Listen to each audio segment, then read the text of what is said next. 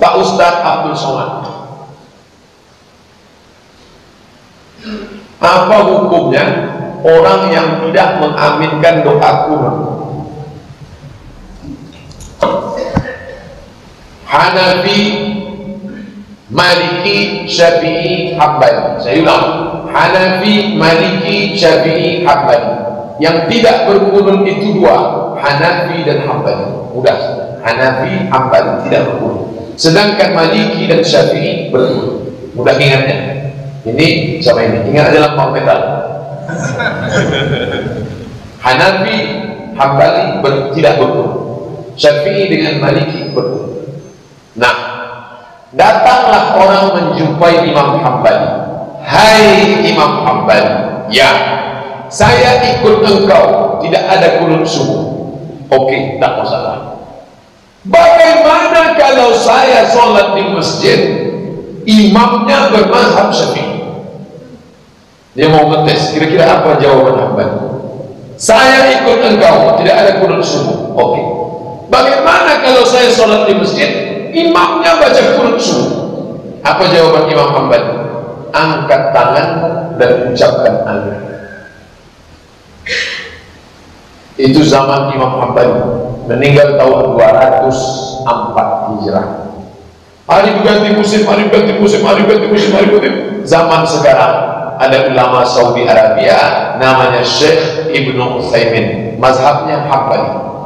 Syekh Ibnu Utsaimin, ya.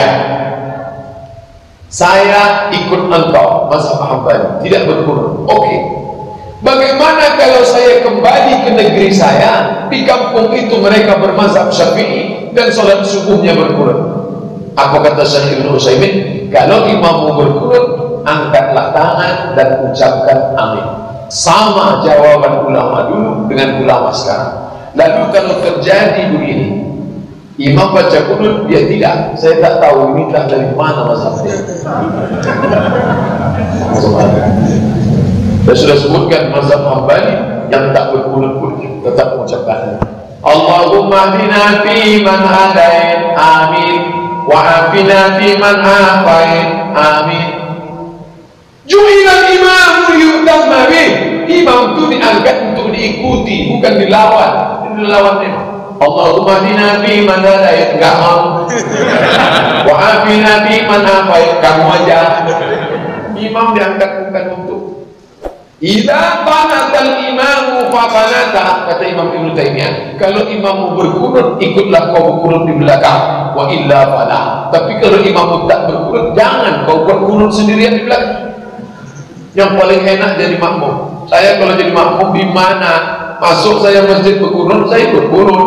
Kalau imamnya tak berkunut, dia tak berkunut. Kalau masjidnya tak sholat, ya kita sholat. Jangan tak sholat. Kamu tak sholat subuh tadi enggak. Kenapa? Kosong masjid itu jadi aku tidur. Betul. Jadi dulu ilmu itu biasa. Orang Maliki itu nak gojlok orang Hanafi itu yang tak ngame. Orang Hanafi kalau gojlok Imam Malik itu yang tak ngame. Ya biasa dulu itu ilmu. Ya biasa. Misalnya gini sampai tak bedai. Tidak jawab saja jujur. Rasulullah itu puasa Senin Kemis selalu apa kadang-kadang dalam semua riwayat. Kadang-kadang. Sesuatu yang kadang-kadang dilakukan Rasulullah itu akan sunat terus apa sunatnya juga kadang-kadang. Ayo jawab saja. Wah, agak sing sarap ya. Rasulullah itu puasa Senin Kemis itu kadang-kadang apa terus? Kadang-kadang ini sudah masih benar. Sesuatu yang pernah dilakukan Nabi kadang-kadang itu menjadi sunat terus apa sunatnya juga kadang-kadang terus. Nah sekarang ini. Sebetulnya hadis kunut itu semuanya sepakat. Rasulullah kunut itu ya ahyanan kadang-kadang. Nah sesuatu yang pernah dilakukan Nabi kadang-kadang itu akan menjadi sunat terus ila yaumil. Maka Imam Syafi'i milih kunut terus. Abu Hanifah enggak. Bahaya kalau sunat kok dilakukan terus. Nanti dikira wajib. Sehingga Abu Hanifah tidak kunut.